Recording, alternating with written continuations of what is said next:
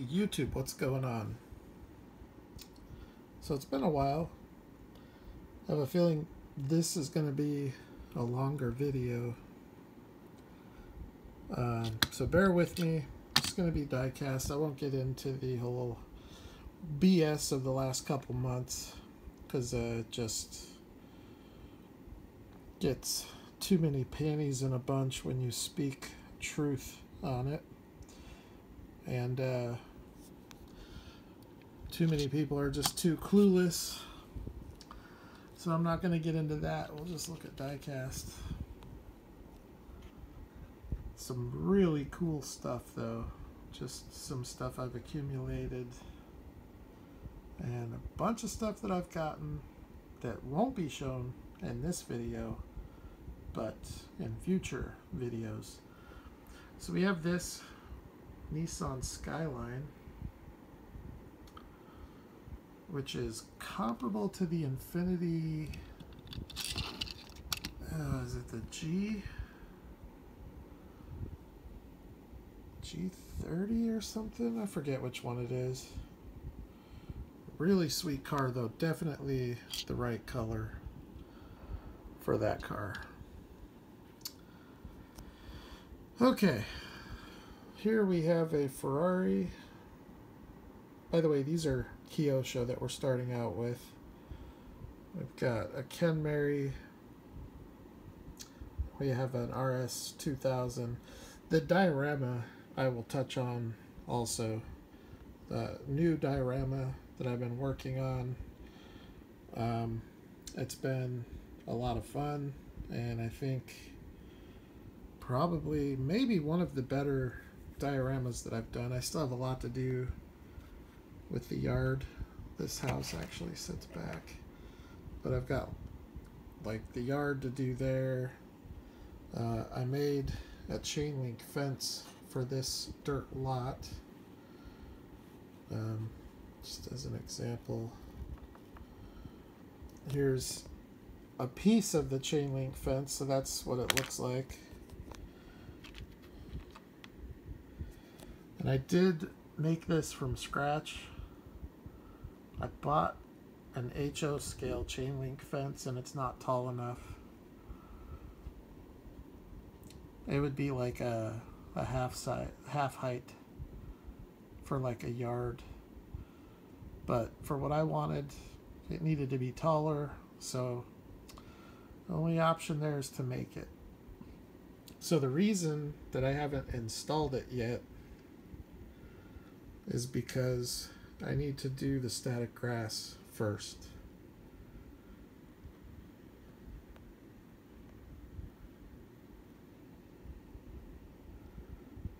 I could do the fence and then the grass, but the problem with that is that the grass will stick to the fence and it'll be really difficult to clean it up. And uh, these fences are pretty easy to make, somewhat time consuming, but not hard. The only downside is that uh, really just one side is worth showing, and that would be this side. I'll show you the back. Although the the Woodland Scenics HO scale chain link fence that I purchased doesn't look a whole lot different on the back of it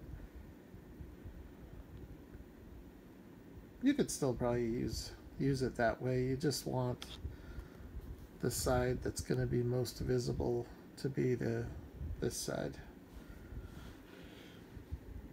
So here is all of the fence. Just waiting to do the static grass and then I'll put that fence in. And then uh, this thing will really start coming together because uh, then I can move on to this and finish it up. I made the telephone poles. Those are scratch made.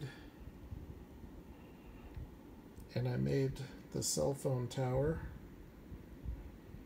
as also scratch made. This building was a kit, so I put it together I did the uh, the mortar because there was no mortar. It was just all a dark red color.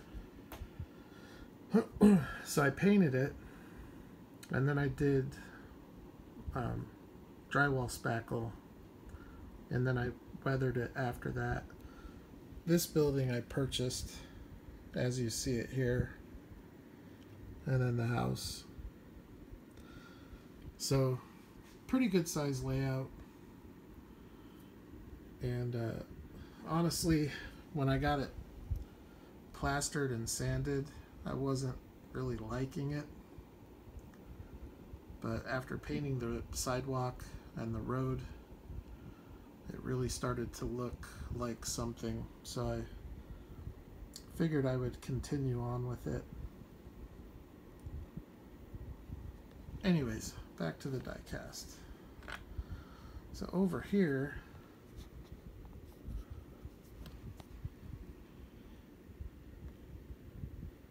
we have a Kyosho R33. This is the driveway to the house. You can see here I have a lot to do on this side. A lot to do. But for the most part, I know what I'm going to do, and I think it'll look really good.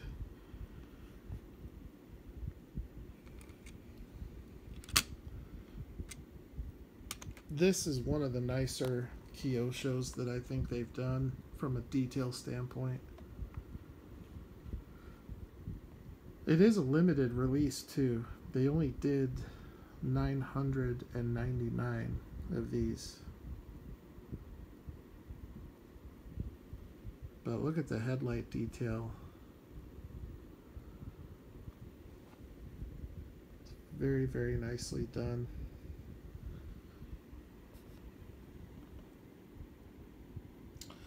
So I'm happy to have that. Come back over here. And we'll get back to it because we got quite a few more cars. So before I get to the TLV stuff, I did get one Greenlight. A really nice civilian deco Lincoln Continental. Probably this right here might be the best example of any 1 to 64 scale Lincoln Continental with the possible exception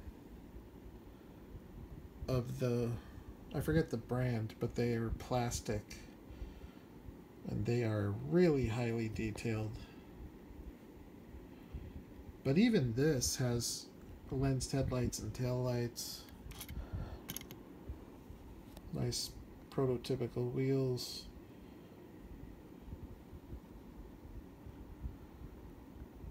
It's a really nicely done car.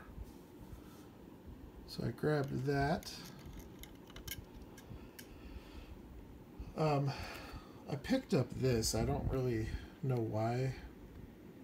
Because I have a couple of the Greenlight, and the Greenlight is so much better. So I'll probably resell this. Cool truck, though.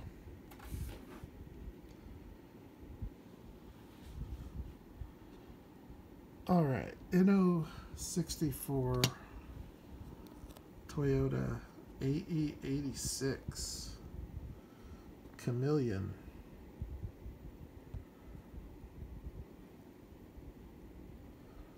It's not a rolling car. Uh, Inno 64s usually don't roll. But man, it sure does look good.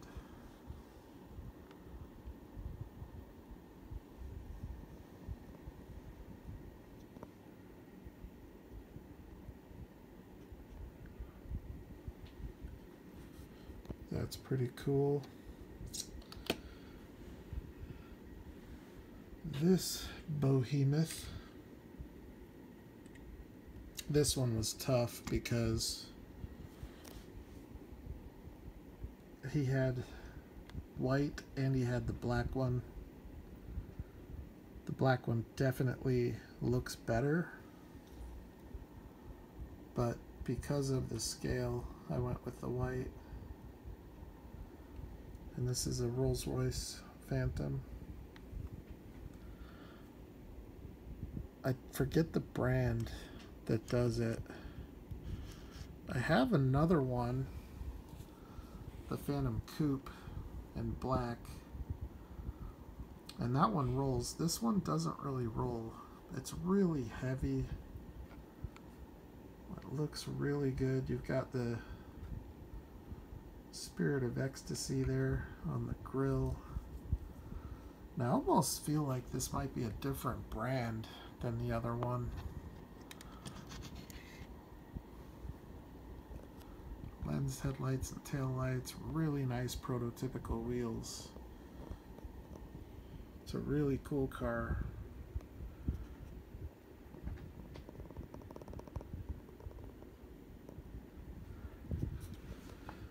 Okay, now, so that's it for the non-TLV. Now we're going to get to the TLV stuff in no particular order. I guess I'll start with this Nissan Gloria.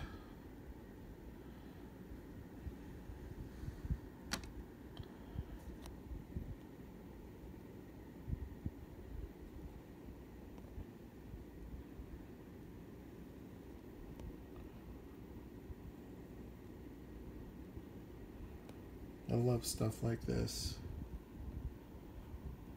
1980s civilian deco. Even though it was never available in the US, it's still just a really cool car. And this car, I, I think, has really nice body lines to it. And then it has that wraparound rear window which I bet cost a fortune to replace.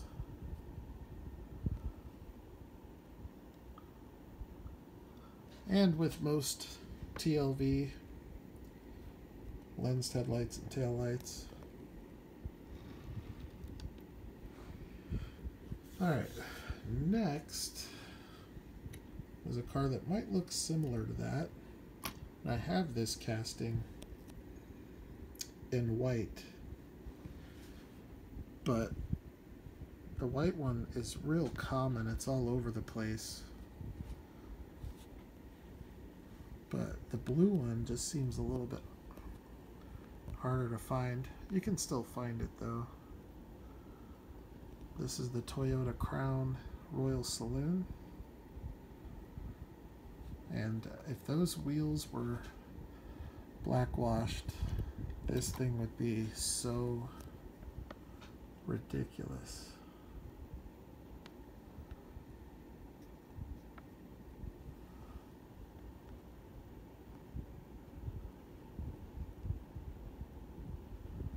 Very, very nice car. How, I don't know, as a detailed replica collector, I don't know how anybody could pass on Tomica Limited Vintage. Best cars in the scale. Okay. Here's an oldie. Oldie but goodie. I don't even know what the model is. There we go. It's a Toyopet Master and it is a total gem. Two-door wagon. I don't know the year because Tomica Limited Vintage, the box is all Japanese. Some of the newer ones that came out in the last three years or so published the year on the front of the box in English, but the early stuff they didn't do that. But this thing looks killer. And as a die-hard Toyota enthusiast, I'm very happy to have this.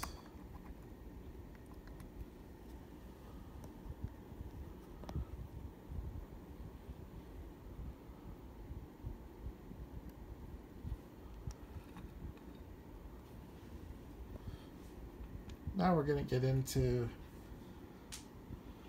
well, probably the stuff that you guys would like a little bit better.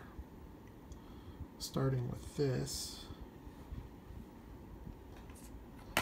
Ooh. This is a Nissan Gloria Gran Turismo Ultima. I believe it's also known as the Nissan Gloria Type X. I have this tooling in a reddish mauve type of a color but with the spoiler and these wheels it looks it's a it's a huge step up it looks actually it's actually in my opinion one of the best looking TLV cars. Incredible lensed headlight detail.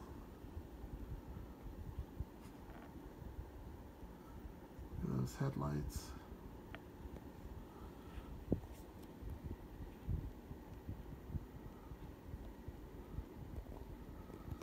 Yeah, I, I really dig this actually. Might not need the other one anymore.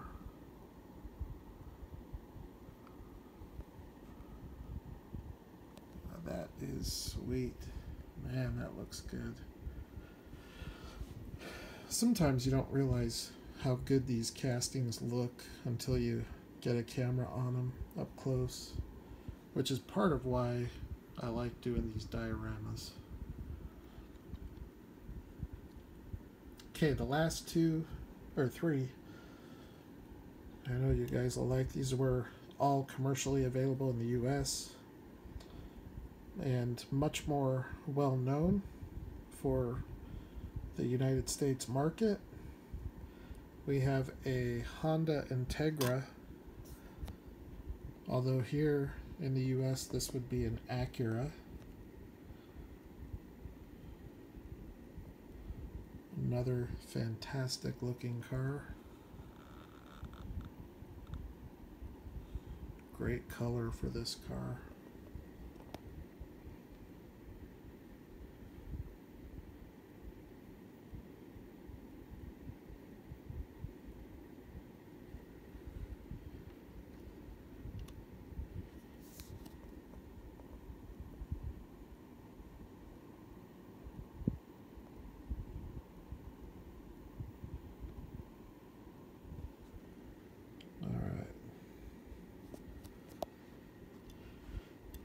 last two. This one has become very hard to find. Climbing in price, it continuously gets more expensive to buy. This one's not in the cleanest of condition. You can tell it's been handled a little bit. It might clean up. I haven't tried cleaning it up yet. But this is a Nissan Fairlady 2 plus 2. It's a 280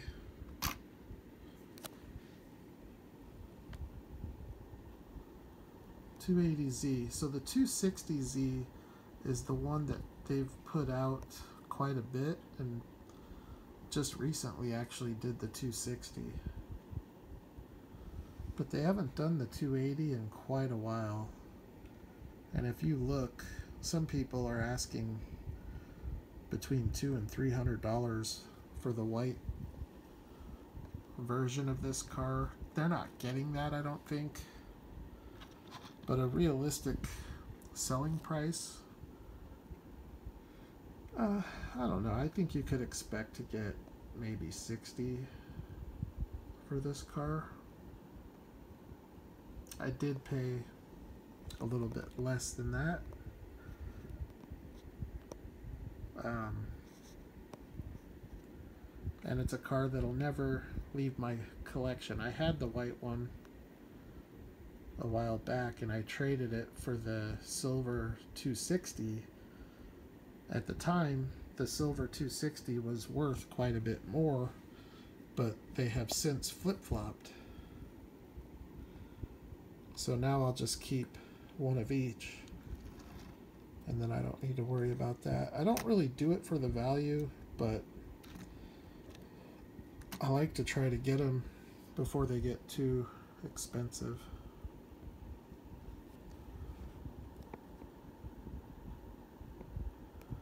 That is one of the best looking 1 to 64 scale Z's.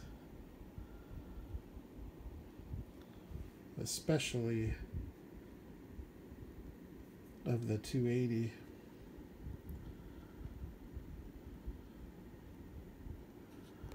Alright, then the last car. You guys have seen this casting, even on this channel, although it was a different color. I have to preface this by saying Ferrari only ever produced this car in red. However, the guys on Gas Monkey on Fast and Loud had the opportunity to buy one of these that was totaled. And when they restored it, they restored it black. In my opinion, in my opinion, this car was meant to be black. Black is is just so much more suiting for this car than red. And this is the F40. The red one is nice, but th this car was meant to be black, in my opinion. Probably the only Ferrari that I would say that about.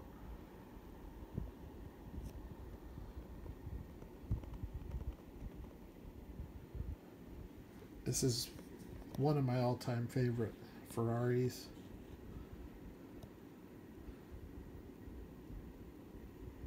and uh, this car is widely recognized as the first supercar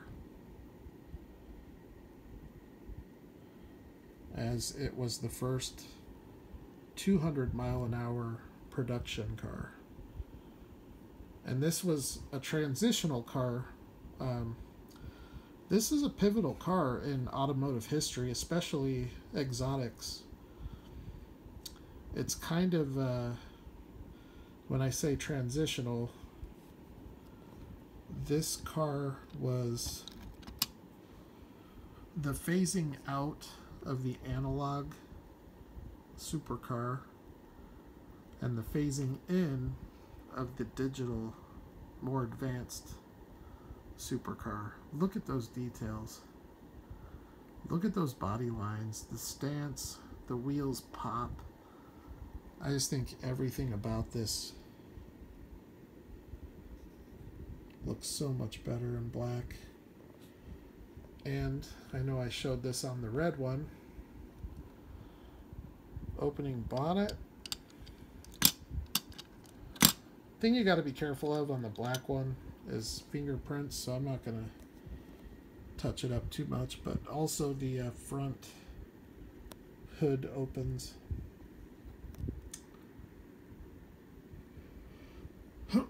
so very welcome addition into the collection, the black F40.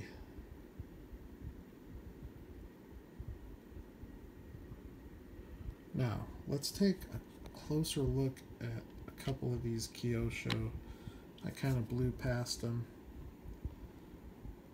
There's that Skyline. I believe this is an R30.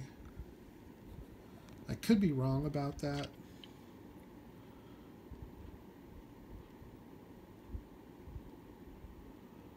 I don't know the exact model.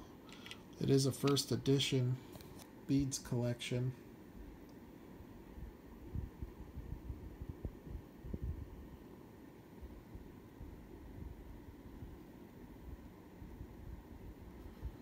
Pretty sick. And then one of my probably my all-time favorite skyline is the C110 Ken Mary GTR although the Ken Mary GTR is a very rare car very expensive. The Ken Mary's not but the GTR is they didn't make that many of them but you could get a regular Ken Mary and make it a clone. I love this car. I am on the fence. I may paint the wheels. I'm not sure. It's really going to depend on how easy they come off. If they come off as easily as the FJ wheels, then I will probably paint them. Because I I just don't like the black wheels on 1 to 64 scale cars. It just drowns out the detail. If I if I were to paint these wheels silver, this whole car would pop. Look at the headlights. Beautiful craftsmanship here. Whoever designed it very legible GTR badge and the grill. Really nice looking tire tread much nicer than what you see with American diecast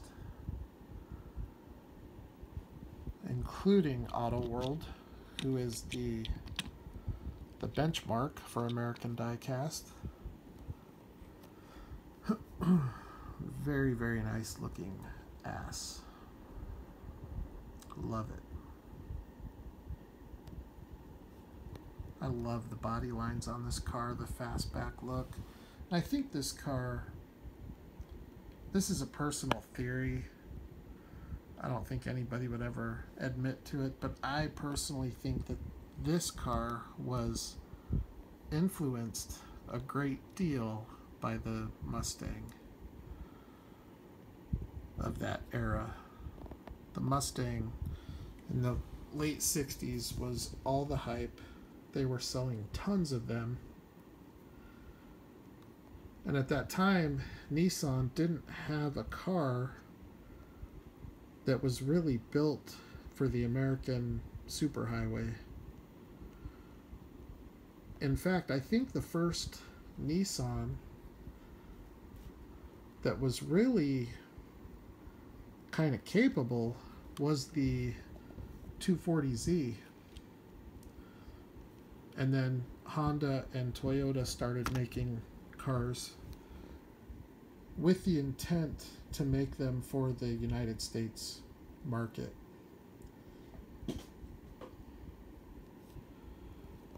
So uh, we'll take a closer look at this and then we'll kind of overcap it or recap it really cool Kyosho Ferrari.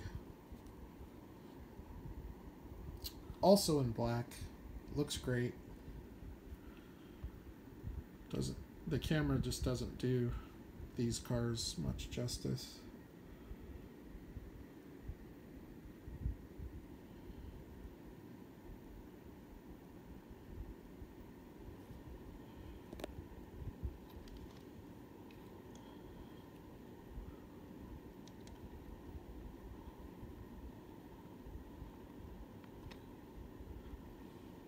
see if I can set these up a little bit.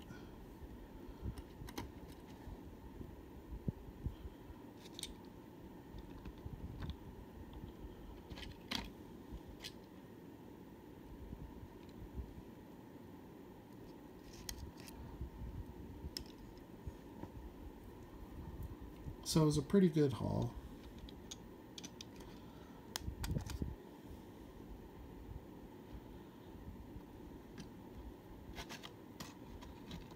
I'm happy with it. Uh, what did we get? One, two, three. Only three new Toyotas for the collection, but but that's okay.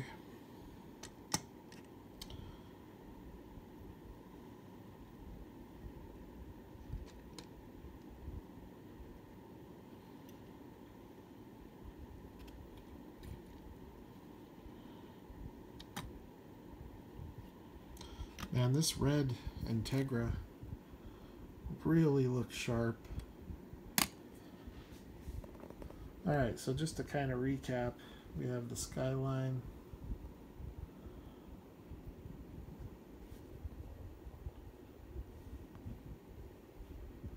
The Integra. The Toyota 86. Awesome. Gloria. This might be my favorite car of this bunch. I don't know. It's definitely up there. There's some nice ones here though. This R33, brilliant car.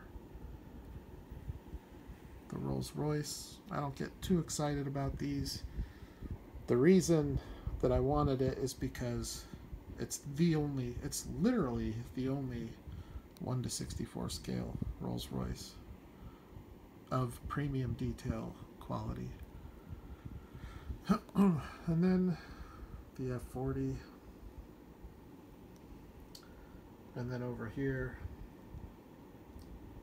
got the Ferrari Ken Mary, another Gloria. How's that for the, an evolution going from that to that? In just a span of about 12 years or so. 280Z, Toyota Crown, another one of my favorites, another Skyline, and the Toyopet. So I guess the theme of this was Silver Skyline, being that there's four different silver four different generations. We've got the uh, 1980, 82, somewhere in there. The Ken Mary is going to be 71 to 73. Uh, this would be, I don't know what year this would be, early 2000s. And the R33, I want to say is 1995.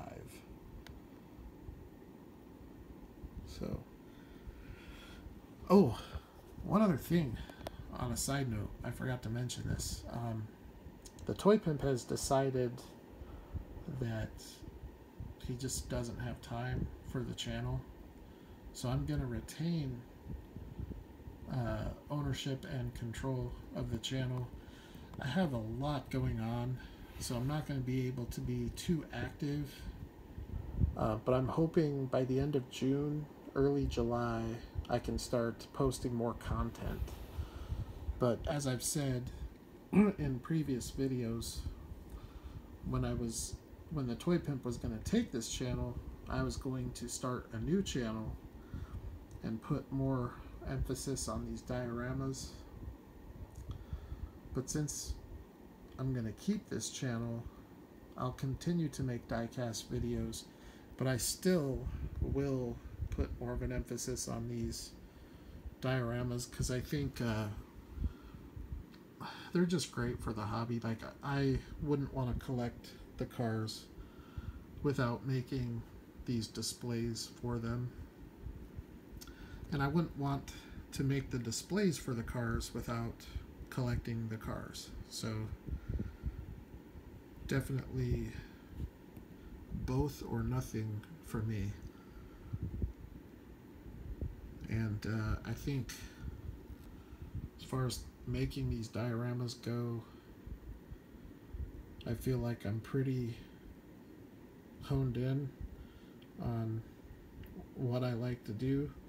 I think my skill set has evolved to the point where I can make a decent looking urban scene like what we see here with paved roads and sidewalks and I can do a fairly decent mountain scene or landscape scene with paved roads or dirt roads.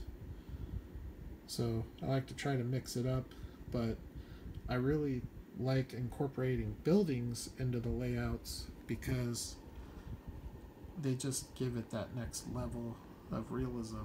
So once I get the chain link fence up and the power lines up or the phone lines and get this done over here and get all the static grass and bushes and everything added. And I'll take this outside. I have no doubt it will be the most convincing layout that I've done.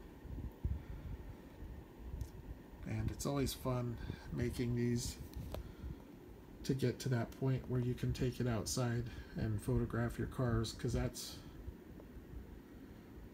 what it's all about.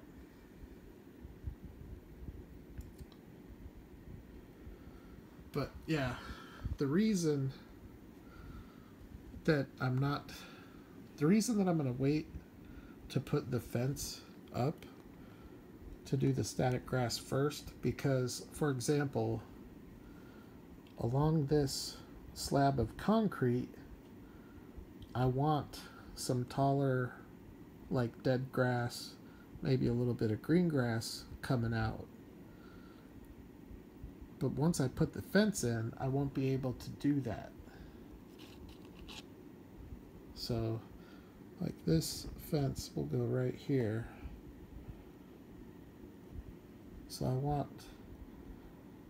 I just want there to be grass coming up along the edge there. But I don't know. I really like the way the sidewalk and the all the concrete in this diorama has come out pretty good.